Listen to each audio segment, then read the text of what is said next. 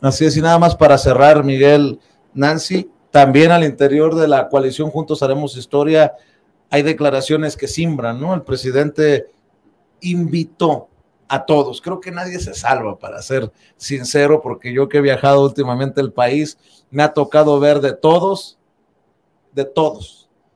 Eh, dice el presidente que, pues que no hay que apostarle a los espectaculares, a las bardas, y ya también Mario Delgado, el presidente nacional de Morena, hace un llamado para el deslinde.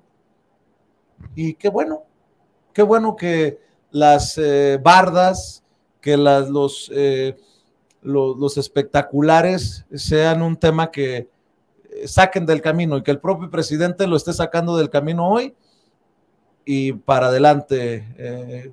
¿Cómo ven? Y lo que está diciendo el presidente, que es muy interesante, les dice, no gasten su dinero en eso, porque eso que es del pasado, que es viejo, ya no funciona en, este, en los actuales tiempos. Ya no gasten su dinero en eso, además de que está mal, no lo hagan, no funciona. Y tiene razón.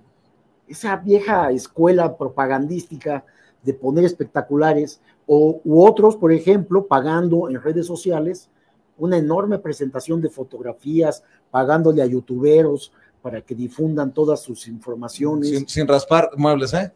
No, no, bueno, que yo de, manera, de, manera, general. Este, pagando espacios en redes sociales para esto. Dice, bueno, pues es que la gente sabe por quién va a votar.